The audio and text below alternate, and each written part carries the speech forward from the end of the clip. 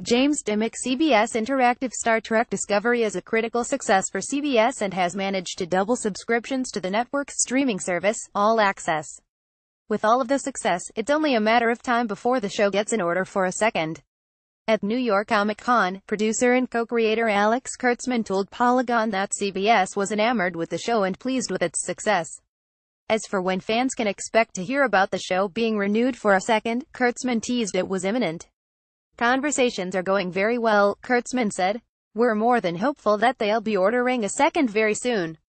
Star Trek Discovery premiered on October 24 and, despite the show being on All Access, CBS is happy with audience turnout for the series.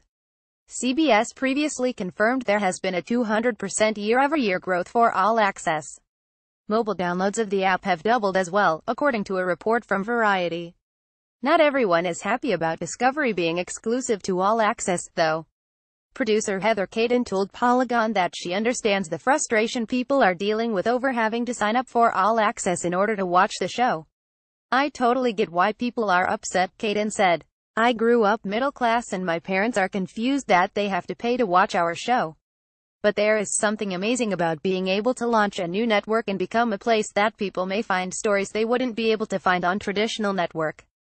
One of the biggest questions going forward in Star Trek Discovery is whether other characters from the original series, who may be around in the timeline but aren't on the show, will ever actually make an appearance or be mentioned.